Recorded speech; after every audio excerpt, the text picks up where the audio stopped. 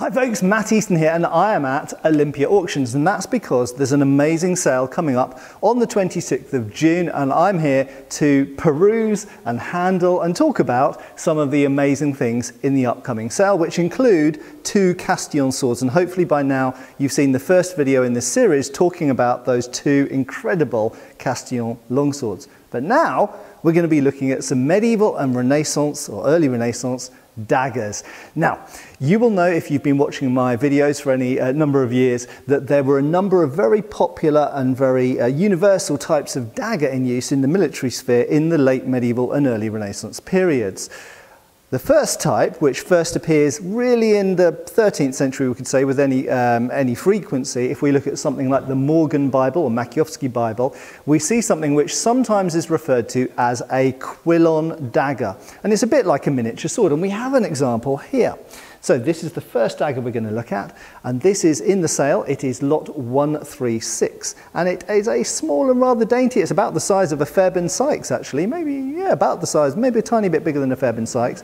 And you'll notice that it is very much like a small sword. It has a pommel, a grip, this is a replacement grip, a crossguard, and a blade. Now the blade, as you'll see, is very similar to a Fairbairn Sykes. It's, it's um, approximately the same length, it's double-edged, and it has a midrib. It is probably a little bit thicker than a Fairbairn Sykes, but of course the primary purpose of these daggers and the reason that they started to become popular as backups to the sword um, so a kind of tertiary weapon, if we consider the primary weapon being a lance or a poleaxe or something like that, is the Quillon dagger was a backup to the sword, uh, particularly in grappling range if you're fighting against an armoured opponent. And really that's what it's all about. There was a period of time where daggers, knives don't seem to have really been carried by knights in the age of mail, but once we start to get plate coming in, like the coat of plates and the first limb defences made of plate, we start to see the rise of daggers, and that's almost certainly because knights were becoming harder and harder to kill. And so uh, if you got into grappling distance, um, very, very close range with an opponent, you needed something like this to jam into their armpit or the slit of their helmet or um, under the, uh, the skirts of their armor um, to finish them off or incapacitate them or potentially even take them prisoner because of course remember that ransoming high status opponents was very much a feature of this period as well. So these types of daggers, quillon daggers, start to come around. Now this particular example features a um, copper alloy, should we call it brass or bronze, something like this. We don't know the, I don't know the exact composition. A little wheel pommel there, much like you'd find on a sword, and it's got a little uh, pin on the end there. We just, there we go. And you'll notice it got, has got the remnants of some heraldic motif on each face of the pommel. The wooden grip is a uh, replacement to make it more um, handleable, I guess, and make it more presentable.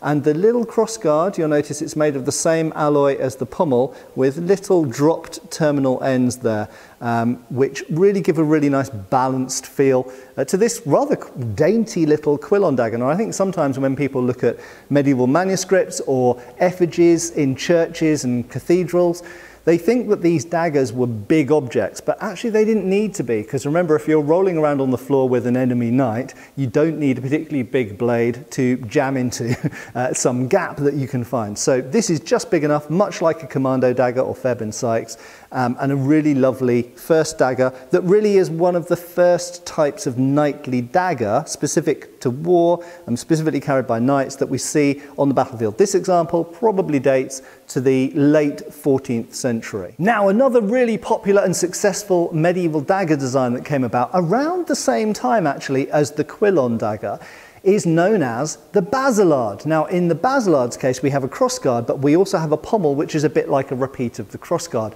In other words, it's like a capital I shape, or H, depending which way you look at it. And actually, we see some early examples of these in 13th century art, but they really became super popular in the 14th century. And here we've got a potentially 14th, maybe early 15th century example of a basilard. This one's probably Swiss.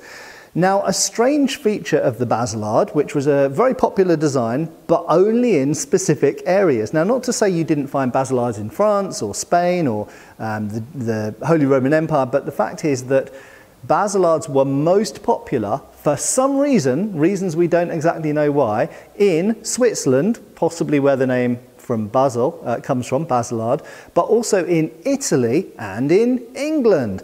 Uh, we don't exactly know why they were so popular in Italy and England. It's possible that they became popular in Italy, copied from the Swiss, and then the Italian merchants, who were very prevalent in London particularly, but all English cities at the time in the late 14th century, brought them as daggers and people bought them. And they were carried as civilian as well as military daggers. So many of these were carried in civilian life. And in fact, when we look at effigies and brasses of notable people, people who could afford to have tombs, uh, we can see that they're very often wearing basilards in England, also in Italy, but in England they're often wearing basilards. So sometimes someone might wear another type of dagger in military life, and, but they'd wear a basilard in civilian life. And we even know that civilians who didn't have any military involvement whatsoever took to wearing basilards around town. It wasn't legal for most commoners who weren't knights to wear swords in English cities, so they took to wearing basilards, and in some cases, the biggest basilards they could possibly lay their hands on. And some basilards are sword sized, they're actually as big as a, a falchion, actually. And in fact, in Switzerland, we even have a treatise teaching us about the use of the basilard as a short sword, and the techniques are very similar to the messer, so very comparable with a falchion or a messer. However, this is the dagger variety, and this is the type that would have been carried uh, possibly in civilian or military life. Now, if we just look at its features for a second, you will notice it has a double-fullered blade, and this is something that we find quite commonly on basilards. For some reason, this type of blade, double-edged, double fuller for the first half of the blade, is a very common type of blade for basilards for some reason. Then the tang is essentially forged into an eye shape. But here's an important detail. We'll notice that it is actually a hidden tang. So running around the edge of here, we actually have, try and get the focus in there, we actually have a brass strap okay, that runs all the way around the end. And obviously we find that on things like later Bowie knives, but we also find it in the 16th, late 15th and 16th centuries with things like the cinquedea as well.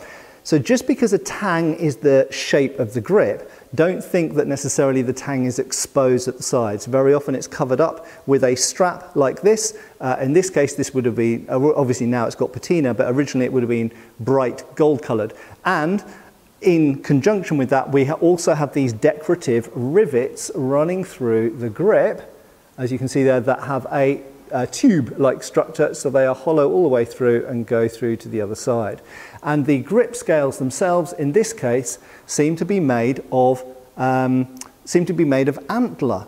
Um, now, that's quite interesting, actually, because most of the ones that I've seen have been wood, you occasionally find them of other materials, but most seem to be made of wood. So the fact that this is made of what appears to be um, stag antler by the look of it is actually very, very interesting to me. So this is a remarkable survival um, of a type of dagger, obviously very, very rare to find now, and it's amazing that it's coming up for auction, and um, anybody could, uh, could own this um, now. But originally, these would be incredibly common, and just about any civilian man who could afford a knife would have walked around town wearing one of these in England or Switzerland or Italy. Now, as far as military daggers are concerned, as we go towards the latter half of the 14th century, we start to find a specialized type of dagger, which regular viewers of my channel will know only too well as the rondel dagger. I've talked a lot about rondel daggers we even, in fact, know exactly how they fought with rondel daggers because we've got treatises telling us how to defend against attacks from one and how to use one, both out of armour in a civilian self-defence environment and also in a military environment. And that's very important to remember, of course, that just because a military weapon is made for military activities doesn't mean that it wasn't also carried in the street because at this time they often were. And in fact, the divide between civilian and military weapons wasn't as stark in this period. So in the later half of the 14th century, because knights are starting to be fully plate armoured and the gaps uh, are fewer uh, to find where you can actually stick a dagger, we start to get these fairly, or partly because of that, we get these very specialised rondel daggers. Now a rondel dagger is called that because it has rondels, that means round things.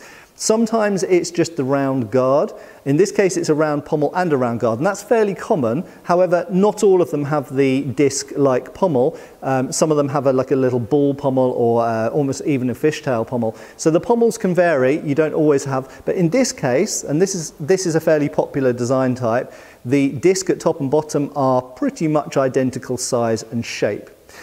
Now, obviously, the grip is missing because this is a late 14th or early 15th century rondel dagger, and whatever grip material was on there was obviously organic, so it would have been probably wood, but it could have been something like horn or even bone, and that has long rotted away.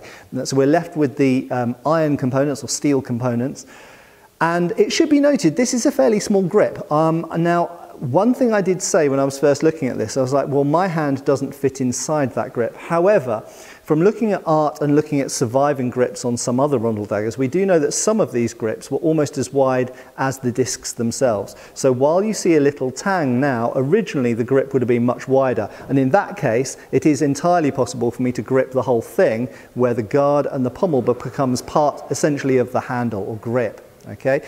So once again, we don't know what the grip was like. It might have been thin, it might have been thick, it might have had a spiral groove, which was quite popular at the time. We just don't know.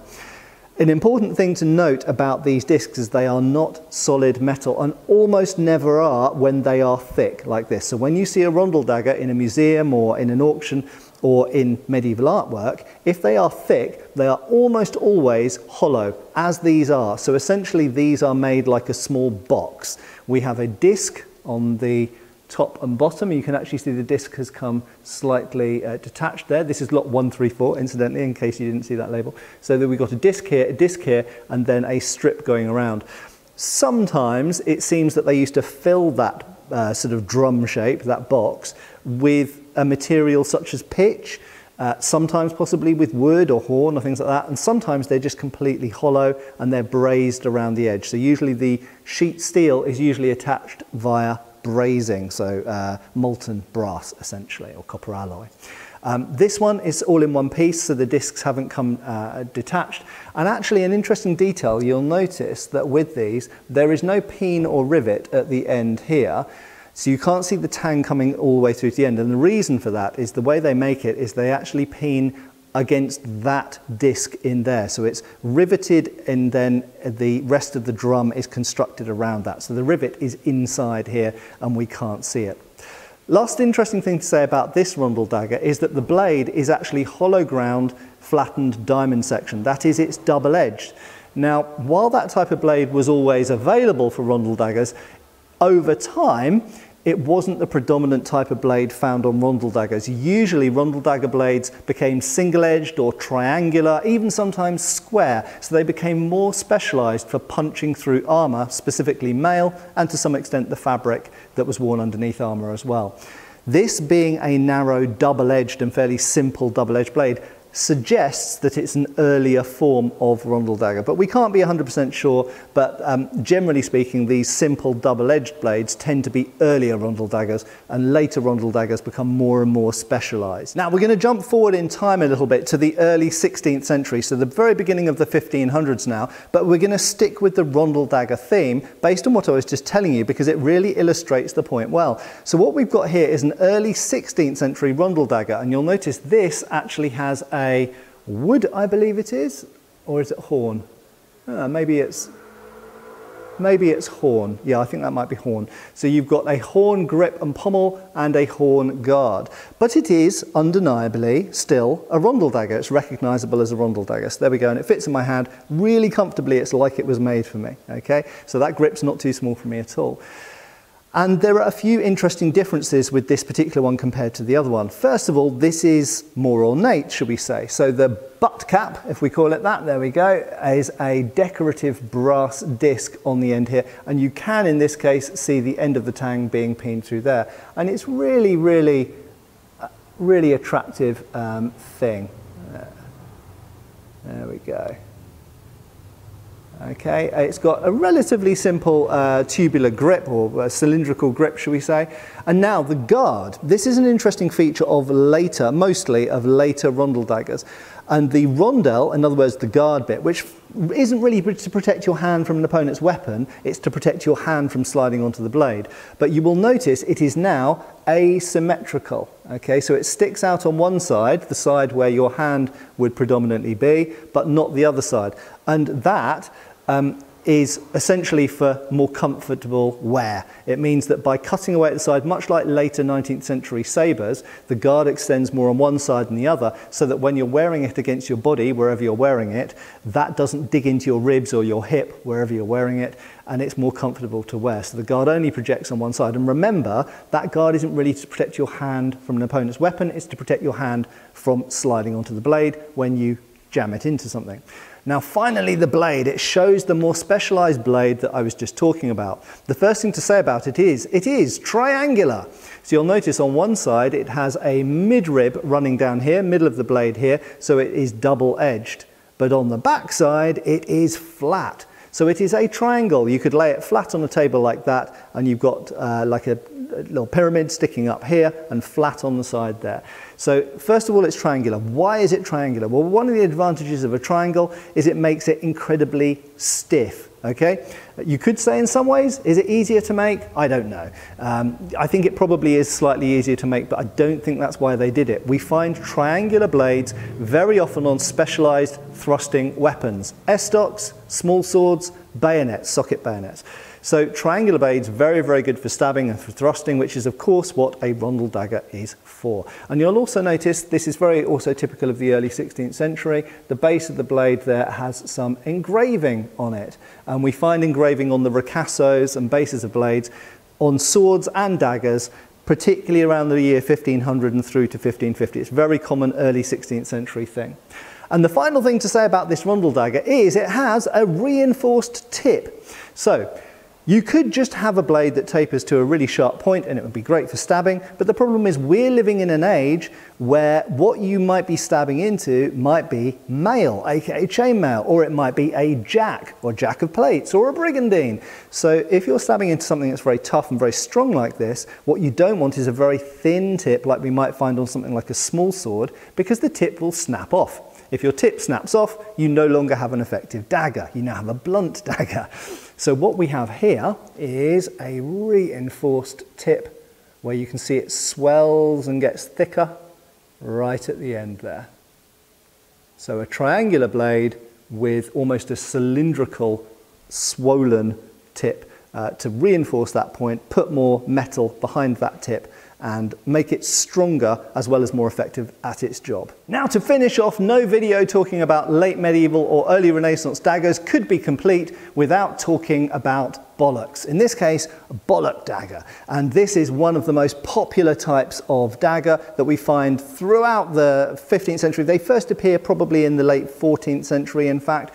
We don't really know how, we don't really know the origin of them, we don't know where they started, but suddenly before we know it, uh, when we get into sort of the first or second quarter of the 15th century, we suddenly find bollock daggers everywhere and there are low status ones, there are high status ones and they continued all the way into the 16th century. In fact, in the 16th century, in 1545, the Mary Rose sunk and we have dozens and dozens and dozens of bollock dagger hilts because the metal doesn't survive in most cases, but we have the organic hilt surviving because it was under the sea. We have loads and loads and loads of those bollock dagger hilts surviving from 1545. So they were still really popular in the middle of the 16th century. And in fact, they also provide the prototype and the basis for the Highland dirk. And actually, if you look at early Highland Scottish dirks, you'll see they follow the general outline and shape of a bollock dagger. And in fact, in the decoration of some Highland, later, later period Highland dirks, you actually can still see the outlines of the two um, kind of balls here on the dagger. Right, so this is possibly late 15th century, possibly early 16th century. It's difficult to tell with bollock daggers because the designs of them can stay quite the same for quite periods of time and it varies in different places. So not knowing necessarily the history of this or where it came from exactly, it's difficult to date it precisely, but it, it, would, it would feature in the late Wars of the Roses or it could feature in the early Tudor period as well. So the um, grip is made of wood. It's simple. It's just essentially a tubular shape of wood. It's got a slightly raised um, sort of rim around the uh, top of the pommel there. Um, and it has the two little spherical objects here just below the guard. And an interesting detail that you can just about see is these pins, these iron pins coming up here through those. And that is actually quite a common feature in the construction of these. And very often those pins will come up and secure the guard to the balls, as it were, of the, uh, of the hilt. And then we've got this reinforced sort of brass element, and this is something really that we helps us date these. So that's what that's why this has been dated to the late 15th century. So it's got a sort of lines running around it, and it's got a decorative element uh, to the um, I don't know what you want to call it. It's not really a guard. It's more of a, it's more of a sort of, um, it's almost like a habaki actually on a Japanese sword. Um, right, the blade. So the blade, very often on these um, bollock daggers, the blades are single edged. And that's really important because these are often associated with people of lower status than things like rondel daggers. So the fact that it's a single-edged blade means that it could potentially be used as a tool um, more easily than a double-edged blade because we commonly associate double-edged blades with weapon, single-edged blade, tool. So possibly, but possibly not, because there are lots of weapons with single-edged blades as well. But nevertheless, it is a thick-backed, single-edged blade. They are cheaper to make and easier and quicker to make than double-edged blades. It is slightly hollow ground. Obviously, it's lost a lot of its edge and it's lost its very tip. But I can feel with my fingers that there is a degree of hollow grinding. So although we've got a thick spine all the way down here, it does hollow in and you have a hollow ground edge. So it would have had a very sharp edge on it originally. And it's, again, it's not particularly long. It's about the same length as a Fairbairn Sykes dagger. It's not a big object, but it's big enough for what's required. Anyway, I hope that's been a useful and interesting whistle stop tour through some original examples of late medieval and early Renaissance daggers, um, European of course, and they are featured in um, the upcoming sale 26th of June at Olympia Auctions and I'm absolutely stoked to be able to show those to you here. Original examples of medieval daggers that I've spoken about in so many videos. What a great experience. Thanks for watching. I hope I'll see you for my next video as well. Cheers folks.